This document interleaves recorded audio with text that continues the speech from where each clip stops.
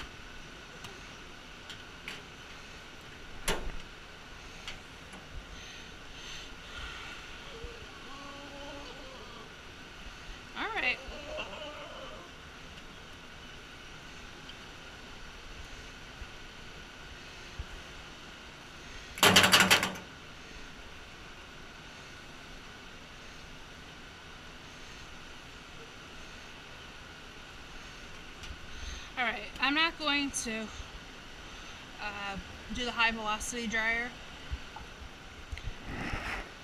Just gonna let him fan dry because he is old. He's already stressing out. So. Good owner.